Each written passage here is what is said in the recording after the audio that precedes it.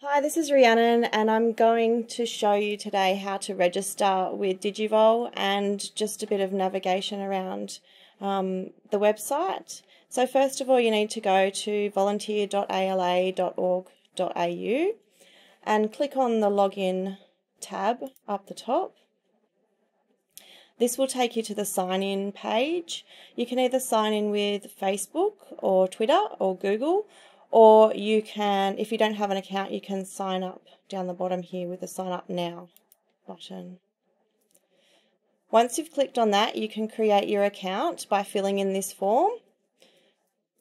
The primary usage and secondary use usage, you can just type in volunteer there and then click on create account. Once you've done this, it will send you an email and just to verify your email address. So let's just go back to our front page. Once you've verified your email address, you can log in. Put in your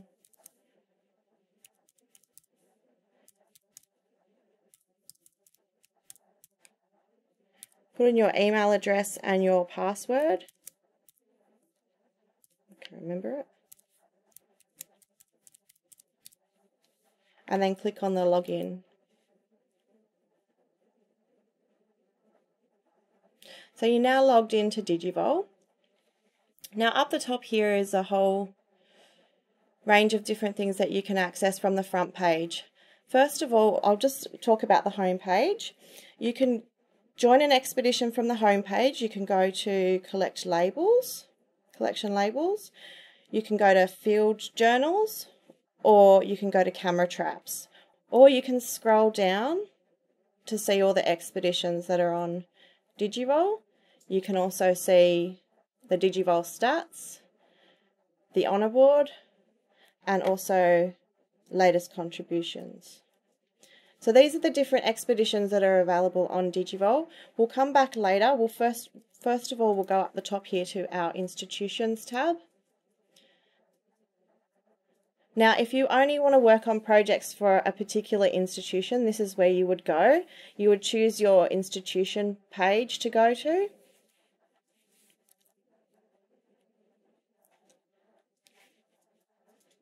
And all the expeditions that are associated with that institution will be on this front page. There's also an expeditions tab up the top. And that has all the expeditions that are on Digivol, even the ones that are completed. For example, this one here, you can see that's 100% transcribed.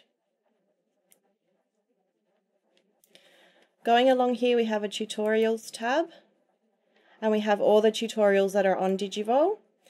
Now, most of, once you go into an expedition front, front page, there will be a tutorials button, so it if you click on that, it will take you to the tutorial that's associated with that expedition. Uh, we'll, I'll show you that in, in a minute. We'll go along to the forum tab. This is where you can ask questions from other volunteers or from myself. Um, and other volunteers or myself will answer the questions. We have a contact us page, just the digivol at austmus.gov.au website. I mean, email address.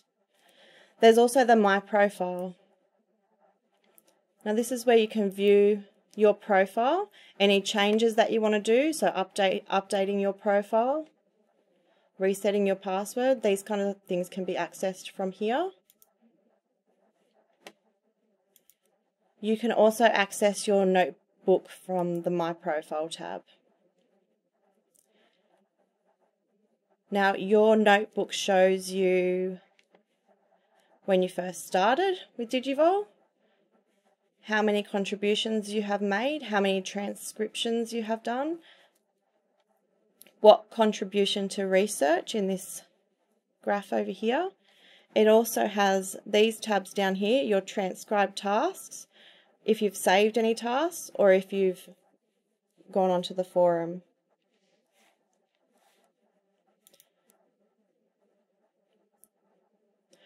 So let's just join an expedition.